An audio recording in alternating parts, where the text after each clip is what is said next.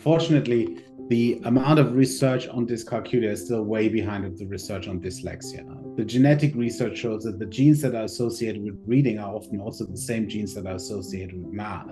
And what do these genes code for? Well, they code for proteins that are involved in brain development, right? So um, I think we've gone beyond these neat categories to appreciating that there's more continuum and that, that these things are related to one another.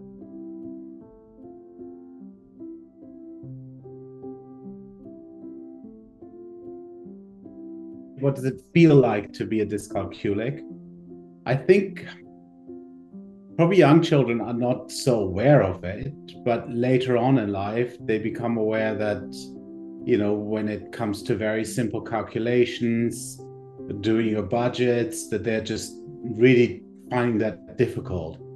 The other thing that I think they'll increasingly experience is this feeling of falling behind their peers, and that no matter how hard they work, it's very difficult to reach the same level of fluency of understanding. So math just becomes this thing that uh, ideally they'd like to avoid right? Because it isn't it isn't rewarding. It uh, it's um, it's uh, it's something that may even lead to mathematics anxieties. I think also math anxiety has become a big topic of interest and there, I think research shows that yes, students with dyscalculia are more likely to experience math anxiety, but you are also able to find students who are dyscalculic who have absolutely no math anxiety. So they're not the same thing. And that's important for classroom practice because a student that is anxious is not necessarily a student that has a math learning difficulty.